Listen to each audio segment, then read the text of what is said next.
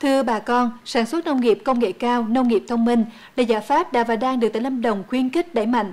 Thông qua hướng đầu tư này, bà con nông dân có thể giảm giá thành sản phẩm mà chất lượng nông sản vẫn đảm bảo. Hiệu quả được thể hiện rõ nét tại một mô hình trồng hoa hồng của nhà nông Nguyễn Đáp ở phường 5, thành phố Đà Lạt.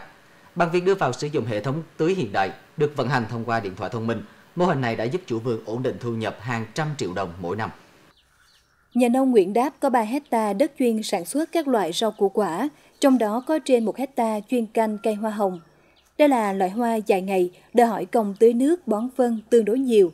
Bởi vậy, ông Đáp đã dành hàng trăm triệu đồng đầu tư hệ thống tưới nhỏ giọt, kết hợp bón phân cho cây hoa hồng. Hệ thống này vận hành thông qua điện thoại thông minh và được lập trình tùy vào từng giai đoạn sinh trưởng và phát triển của cây trồng. Ngoài việc giảm đến trên 80% công lao động, giảm từ 20 đến 30% lượng nước tưới và phân bón.